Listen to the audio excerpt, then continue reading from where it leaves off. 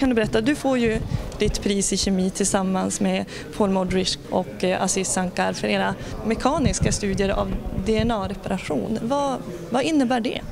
Det innebär att vi har visat hur DNA i våra celler kan repareras. Så DNA är det som bär våra arvsanlag, det som man får från sina föräldrar. Och, eh, generation från generation så är det DNA som bär våra ärftliga egenskaper. Eh, och eh, nu är det så att med DNA det kan förändras med tiden. Eh, och det gör att det måste kunna hållas intakt. Och, ja, det är som en, säga, en bil eller någonting. Att det måste finnas reparationsmekanismer när någonting går fel. Och det händer. Men vad betyder er upptäckt då? Det betyder att vi förstår bättre hur livet fungerar.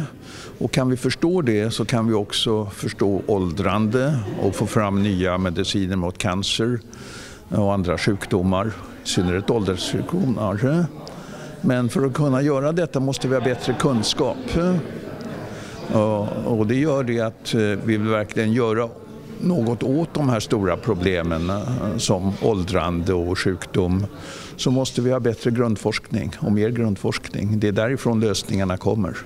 Har vi svaren så är det relativt rakt på sak att sedan kunna tillämpa detta. Eh, vad betyder det här priset för dig?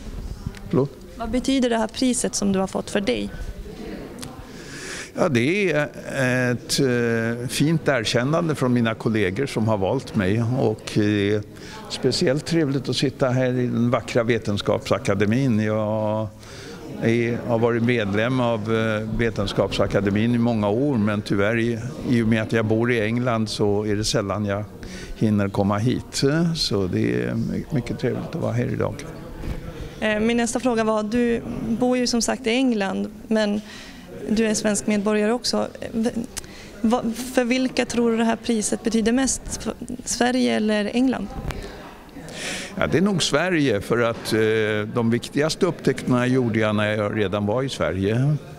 Sen har jag fortsatt och utvecklat detta i England och där har jag haft eh, många utomordentliga medarbetare men det har jag också haft i Sverige. Eh. Men du har sagt i en intervju att eh, du blev förvånad när du fick höra att du hade vunnit. Varför blev du förvånad? Ja, det måste man väl säga. Jag vet att det är, jag har varit med om att göra enstaka, enstaka utredningar för Nobelpriset och det är över 200 kandidater per år så att eh, det är mycket konkurrens eh, och att ens eget forskningsområde skulle väljas ut bland alla de andra. Det är individuellt glädjande men eh, det finns ju många kandidater. Hur kom du på att du skulle börja forska om det här med eh, reparationsmekanismer i DNA? Genom eh, arbete i laboratoriet. Vi började få en del resultat som vi inte riktigt förstod.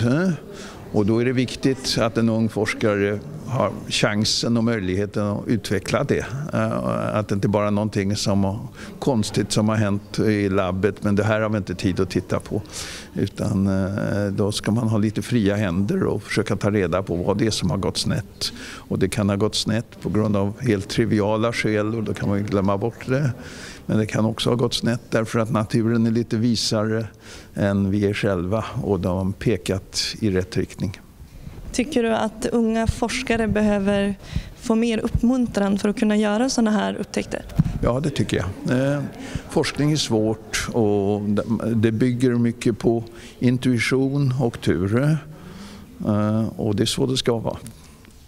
Och slutningen här, du får ju en eh, prissumma på 8 miljoner kronor som du ska dela med de här andra två.